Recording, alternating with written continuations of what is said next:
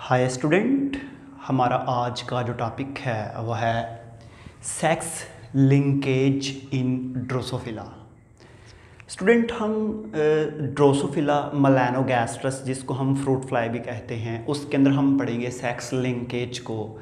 उसके अंदर एक साइंटिस्ट था नाइनटीन uh, में टी एच मॉर्गन ने।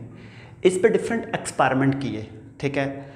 और आज मैं आपको ये बताऊँगा कि टी एच मार्गन ने कौन कौन से एक्सपेरिमेंट किए उसको रिज़ल्ट क्या मिले और उन रिज़ल्ट के बाद उसने एनालाइज क्या किया। लेकिन पहली बात यह है कि आपको ये मैं बताऊँ कि उसने ड्रोसोफिला मिलानोगैस्ट्रस को ही क्यों सिलेक्ट किया? उसकी प्रेफरेंस में ड्रोसोफिला मिलानोगैस्ट्रस क्यों है? समझ आ रही है। तो आ, हमारे पास सबसे पहले जो है कुछ पॉइंट्स हैं। सबसे पहले है जी species cages and मार्स्ट banana. Student बात इस तरह है कि कोई भी साइंटिस्ट है ना, उसने अगर काम करना है तो उसके लिए उन एनिमल्स को या उन प्लांट को सिलेक्ट करेगा जो बहुत जल्दी ग्रो भी कर जाएँ और एक छोटे से एरिए पे कल्चरेबल हों, छोटे से एरिए पे वो ग्रो हो सकें इजीली जो है वो कल्टीवेट हो सकते हों।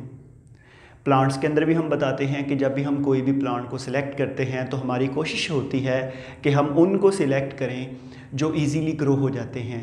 लेबोरेटरी के अंदर वो ग्रो हो जाएँ, उनके लिए हमें कोई बड़े फ़ील्ड की ज़रूरत ना हो, उनके लिए हमें कोई ज़्यादा जो जगह है, वो रिक्वायर्ड ना हो। ठीक है जी? तो सबसे पहली बात है कि इसके लिए हमें कोई कुशादा, पिंजरे केज कोई बड़े बड़े पिंजरों की ज़रूरत नहीं है। ठीक है? मतलब आप छोटे से जार मार मैलेट्स मरबा जो होता है, जिसके अंदर वो जार के अंदर डाला होता है, जैम वगैरह जो है, इतना सा जार हो आपके पास, उस जार का जो ऊपर लिड है, ढक्कन है, उसमें छोटे छोटे सुराख करें, उसके अंदर आप बनाना, मास्ट बनाना जो है, उसको रख दें, गला सड़ा बनाना जो है, जब वो उसके अंदर आप रखेंगे तो वहाँ पे आपको पता है कि वहाँ पे यीस्ट ग्रो करेगी और यीस्ट के नतीजे में वहाँ पे ड्रोसोफिला मिलानोगैस्ट्रस इजीली कल्चरेबल हैं।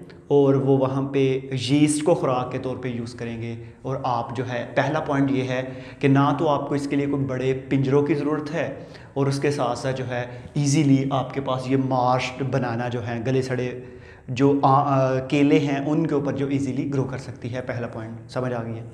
उसके बाद स्टूडेंट जो दूसरा पॉइंट है वो है डाईमार्फिज़म बात ये है जब भी आप किसी भी एनिमल्स को स्टडी करते हैं ना तो एनिमल को स्टडी करने के दौरान आपने ये देखना है कि आप मेल और फीमेल को शक्ल से पहचान सकें। लेट्स सपोज़ हमारे पास पिजन है, कबूतर। अब वो जो पिजन मेल और फीमेल है ना, आम इंसान उसको इतनी जल्दी जो है वो आइडेंटिफाई नहीं कर पाता कि इसमें से मेल कौन सा है और फीमेल कौन सी है। ठीक है? वो जो प्योर जो हंटर हैं शिकारी हैं, उनको तो पता है कि जी ये मेल है ये फीमेल है, वो भी बड़ी डीप उनके बारे में सर्च करने के बाद बहुत ज़्यादा उनके साथ अटैच होने के बाद फिर वो बता पाते हैं। लेकिन शक्ल को दूर से दिखने से आम इंसान नहीं बता पाता कि ये मेल है या फीमेल है। ऐसे ही इसी तरह हमारे पास जो हैं और बेशुमार ऐसे बर्ड्स हैं, जिन बर्ड्स को मैं बजाते खुद जो है, मैं विजिबल आपके पास जो है डाव फाख्ता फाख्ता को आप बता नहीं पाते। दिखने में कुछ उसकी स्पीशीज़ ऐसी हैं कि आप देख के बता नहीं पाएँगे कि इसमें से मेल कौन सा है और फीमेल कौन सी है, ठीक है? तो ऐसे हमारे पास जो ड्रोसोफिला मेलानोगैस्ट्रस है ना, ये डाई मार्फिज़म है।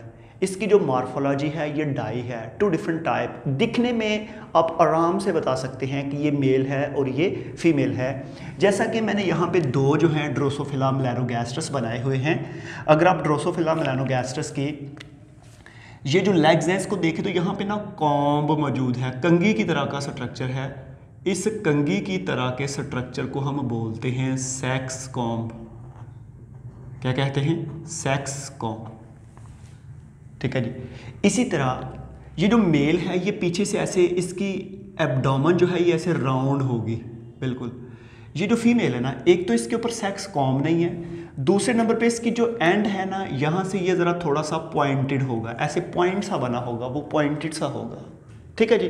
तो बताने का ये मकसद है कि आप इसकी शक्ल को देख के, आप फ़िज़िकल अपेरेंस को देख के आप बता पाते हैं कि ये मेल है और ये क्या है? फीमेल तो इसके बाद स्टूडेंट अगला पॉइंट जो है वो ये है जनरेशन टाइम जैसा कि अगर मैं आपको एक प्लांट की एग्जांपल देता हूँ, जी, आप ना एक प्लांट को सिलेक्ट करें और आपने उसके सीड को स्वइंग करना है, बोना है। बोने के बाद जब वो बड़ा होगा तो फिर उस पर जब सीड लगेंगे, फिर उनकी स्टडी करनी है। अब मुझे ये बताएँ कि आप कौन सा प्लांट सेलेक्ट करेंगे, जो दो साल बाद सीड देता है, या वो सिलेक्ट करेंगे जो पंद्रह, बीस, एक माह के बाद सीड दे देगा? आप वो सिलेक्ट करेंगे जिसका जनरेशन टाइम बहुत छोटा होगा, जो बड़ी जल्दी जो है अपना लाइफ साइकिल कंप्लीट करता है, जो बड़ी जल्दी जो है सीड की प्रोडक्शन करता है। सेम एनिमल्स के केस में भी ऐसे ही है। हमारे पास जब भी आप जनरेशन टाइम को देखें, एक जनरेशन पैदा हुई टू वीक के बाद वो दोबारा आगे बच्चे पैदा करना स्टार्ट कर देती है। आपको रिज़ल्ट बड़ी जल्दी मिलते हैं। उनकी प्रोडक्ट्स चेक करने के लिए बहुत जल्दी मैसर होती हैं कि ये वालदेन ऐसे हैं, बच्चे कैसे होंगे? वो उनका क्रॉस फिर आगे बच्चे कैसे होंगे? तो ये बड़ी जल्दी आप इनको चेक कर पाते हैं।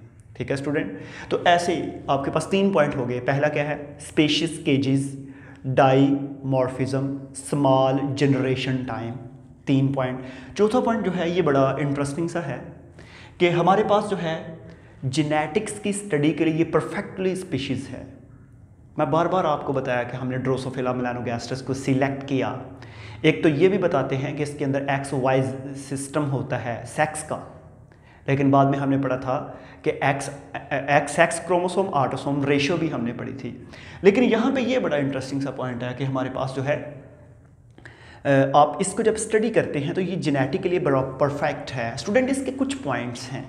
कैसे परफेक्ट पहले नंबर पे ये है कि इसमें जो टी एच मॉर्गन 1911 में जो उसने इस पर रिसर्च स्टार्ट की थी ना, उसने क्या किया था? जब ड्रोसोफिला मिलानोगैस्ट्रस को लिया ना तो इनके 85 ट्रेड को स्टडी किया। कितने ट्रेड 85 और वो सारे के सारे एक दूसरे से कंट्रास्टिंग थे। समझ आ रही है? कंट्रास्टिंग होते हैं अपोजिट एक की आय जो है वो वाइट है तो दूसरे की ब्लैक एक की एबडोमन राउंड है तो दूसरे की पॉइंटेड एक का कलर इस तरह का है तो दूसरा इस तरह. एक के जो हैं वो विंग्स इस तरह के हैं तो दूसरे. ये अपोजिट ट्रेट जो होते हैं, इसको हम कंट्रास्टिंग ट्रेट तो एक तो ये है कि इनमें कंट्रास्टिंग ट्रेट बड़ी जल्दी मिले और विजिबल है हंड्रेड परसेंट कि ये इस तरह का है तो दूसरा बिल्कुल इसके अपोजिट है. 85 कंट्रास्टिंग ट्रेट की स्टडी की.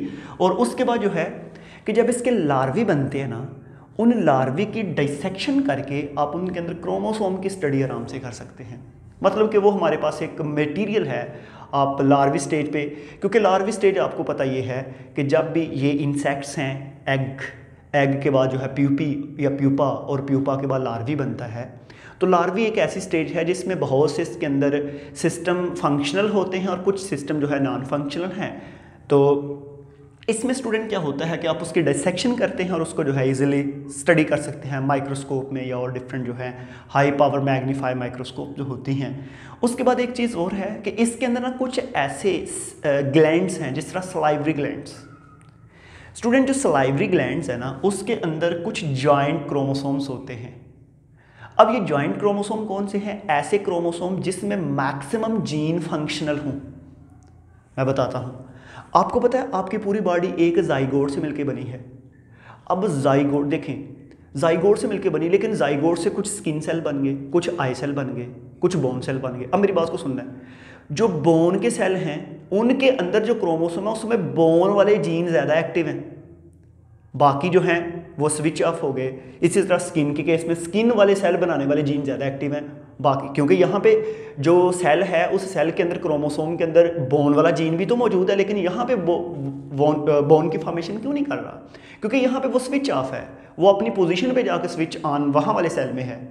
ऐसे ही जो हमारे पास सलाइवरी ग्लैंड है ना इसमें मैक्सिमम जो क्रोमोसोम के ऊपर जीन है वो एक्टिव होते हैं। और उसको हम बदलते हैं जाइंट क्रोमोसोम जिस तरह हम पोलीटीन की एग्ज़ाम्पल बताते हैं, ठीक है? तो ऐसे स्टूडेंट जो है, और लास्ट पे एक पॉइंट है कि जो ड्रोसोफिला मिलानोगैस्ट्रस है ना सेकेंड ईयर में जो हमारा एक चैप्टर है बायोटेक्नोलॉजी इसके बाद आएगा जल्द ही, इंशाल्लाह, इसके बाद वाला। बायोटेक्नोलॉजी के अंदर जब हम पढ़ाते हैं बच्चे को तो उसमें एक टॉपिक है जिसको ह्यूमन जीनोम प्रोजेक्ट कहते हैं।